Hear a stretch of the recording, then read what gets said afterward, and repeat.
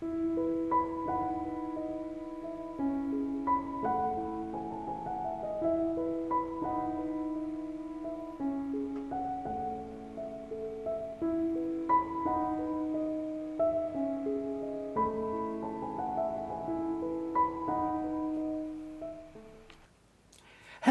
I'm Graham Houghton and welcome to my product review for the Shimbol ZOlink 600 wireless video transmission system.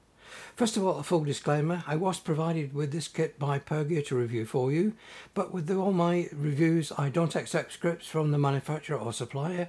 They don't see this uh, review before it's uploaded and with all my reviews you get a fact-based opinion as to how they perform, how well they're constructed and really how they will work in your environment. So let's get on with the review and have a look at the Shimbol ZOlink 600. Now, it's a very crowded marketplace that Shimbol have actually tried to enter with their product. It does have the advantage that it does support both SDI and HDMI, which most of the competitors don't at this price range. In the UK, it's £349. If you look at the direct competitors for this product, we have the Mars X, which comes in at about £169, again on the 5 GHz frequency band. Sony transmitter, and you will pick this up with a uh, tablet or smartphone to see the signal that's being transmitted from your HDMI source. So again, the Mars X device. Again, top of the range for the prosumer market, if you like, would be the Mars 300 Pro. Comes in at 425 pounds. Again, it's a 5 gigahertz transmission system, transmitter and receiver, but just HDMI input doesn't support SDI.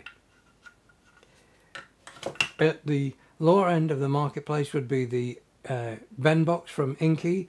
It's a dual band transmitter which is 2.4 and 5 gigahertz. Again picked up by a tablet or a smartphone application. Again just for previewing your HDMI on an external monitor. So exactly who are Shimbol pitching this product at? The fact it supports SDI and HDMI means it's um, attracting the likes of the pro-grade cinema cameras and high-end prosumer cameras which only have HDMI. So they're covering all options with this device. And at just £350 it's quite a good value. So if it performs exactly as the specifications state, then we do have a viable product for both prosumer and professional grade equipment. Let's check it out and have a look at some of the specifications. So let's have a look at some of the specifications of this product in more detail.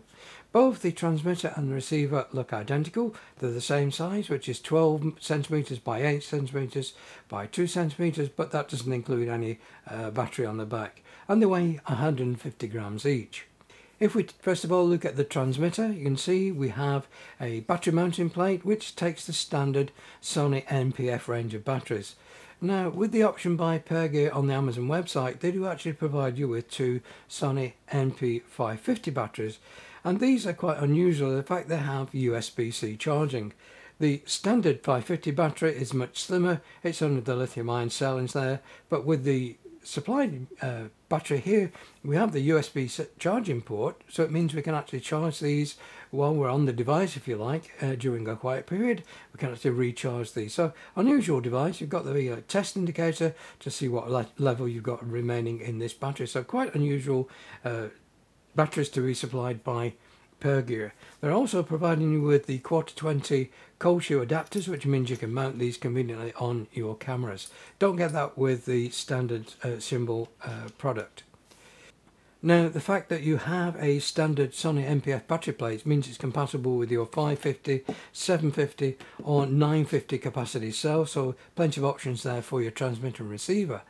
But the industry standard if you like would be from a D-plate battery type or a 7.4 volt lithium cell normally supplied through a 5.5 by 2.1 uh, millimeter jack.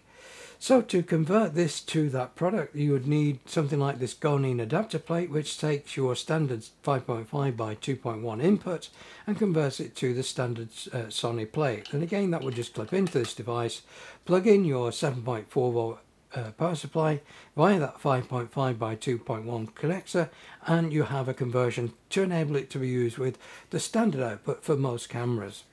You can of course power it from the other port on here which is the USB-C input port.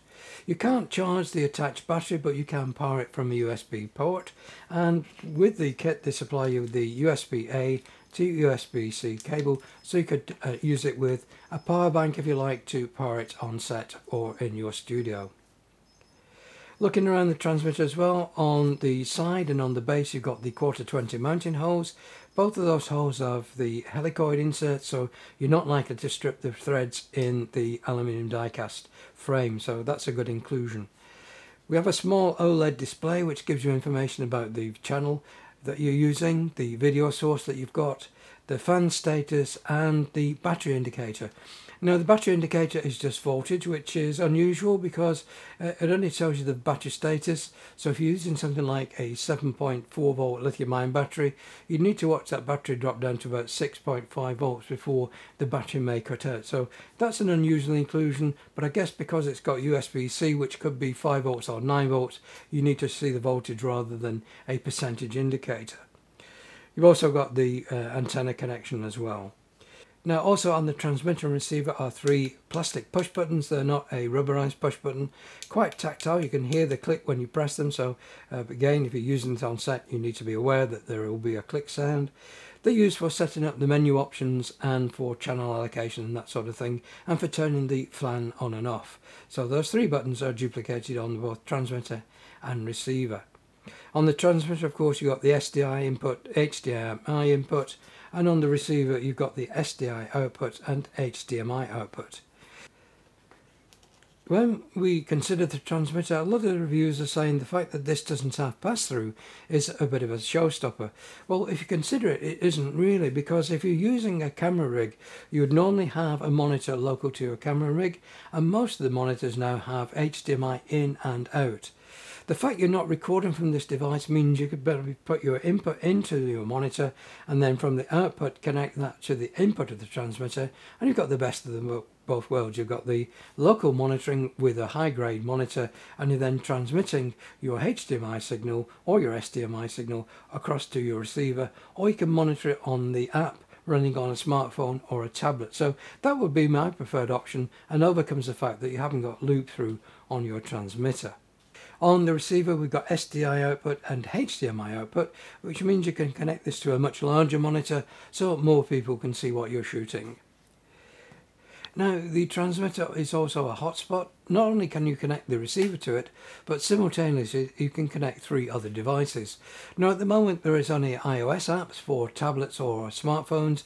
There's an Android app in development, but presumably because of the software development kit and what the Android system allows access to the developers, there's probably some problems with that. So there is an Android uh, release in the pipeline, but at the time of publication, not yet available. So with the Shimbol app running on your smartphone or tablet, you can monitor the output from your transmitter. Now I have to say this app is fairly basic, gives you a limited uh, uh view of what you're actually shooting, nothing compared to what you get with the uh, Hollyland system or even with that cheap um, Benbox by Inkee, you're getting a lot more features on that device. Having said that, a lot of the features will be available on your local monitor such as zebra stripes or focus peaking uh, false color, they should be all provided on your monitor. But again, the smartphone app allows you to basically look at the monitor output, gives you the option to take stills, grab from your video, or in fact record that video on the smartphone. You can see some footage I've shot with this on the smartphone when I did the range test so you can judge the video quality. Talking about the range test, first of all, using this 5 GHz system, it's quoted to be 600 feet between the transmitter and the receiver pair, or 300 feet if you're using a transmitter and a connected iOS device. Now, outdoors I exceeded that 300 feet easily with the connected iOS device, and that was just an open field without anything to reflect back the RF signals which help in these sort of situations. So more than enough coverage for outdoor shooting with the app or with a connected monitor on the receiver. Now the transmitter does support what's called Smart Scan, so at power up it will try to find the most uncongested channel for you. Alternatively you can set your own channel using the manual setup. You've got 13 channels to choose from, from channel 0 to channel 12. I found when my unit powers up it tends to use channel 12 which equates to channel 169 in the 5 GHz frequency range. That gives me a bandwidth of 20 megahertz with a bitrate of about 130 megabits per second or that's 70 megabytes per second. So with H265 compression you're going to get quite a good video signal and you can see from the app it's quite a good recording format. In praise of this unit for its input capabilities, if we look at its inputs we can use 720p at 50 or 60, 1080i at 50 or 60, 1080p at 24, 25, 30, 50 or 60 and it also supports the 1280 by 24p at 60 Hz. So quite a good range of inputs there. Some of the units don't support all that range of inputs, especially in the HDMI mode they don't support the I interlace format. Now, the transmitter does become quite warm during use. It will obviously depend on your current ambient temperatures as to how much it will rise, but I measured this from an ambient temperature of 23 degrees. After 30 minutes, the case temperature had risen to 40 degrees, so quite a considerable rise during that 30 minutes. That was with the fans on. If you turn the fans off, obviously that temperature will rise quicker, but it will switch itself back on if the internal temperature rises to, I don't know what the preset level is, but it will actually switch the fans back on again. They're fairly quiet, but if you've got the transmitter mounted on camera and using the on-camera microphone, they will probably pick up that sound. But most professional applications will use an external microphone, so you're not likely to run into that issue anyway.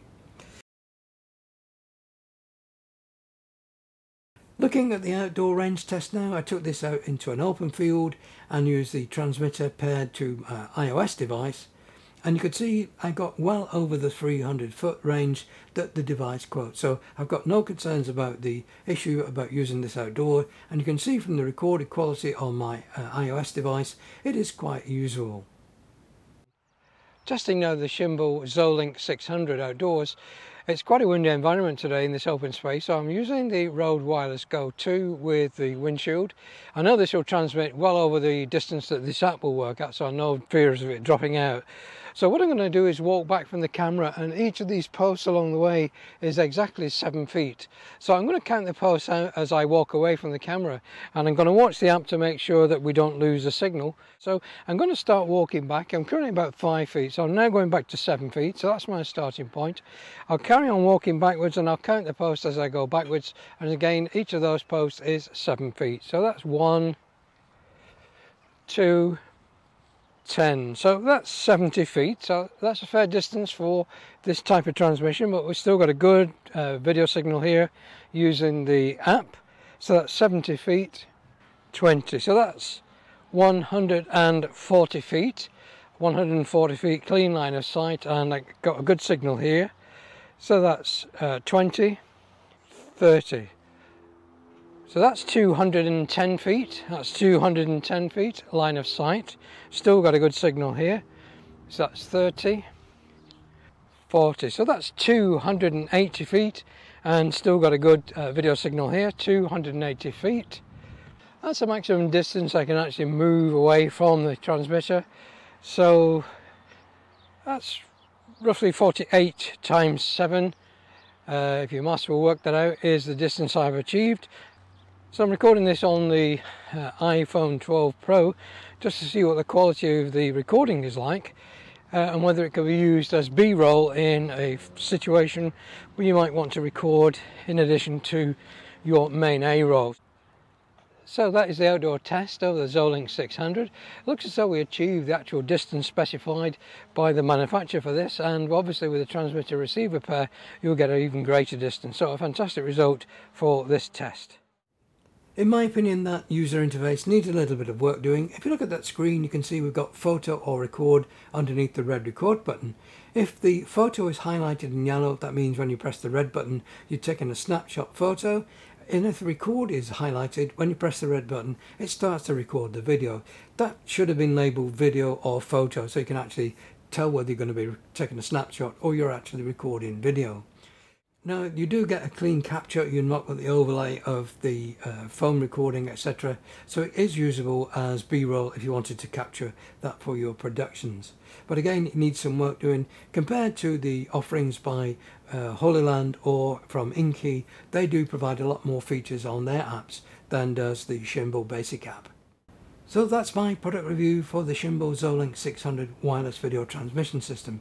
I'll put links to the Pergear storefront on the Amazon websites.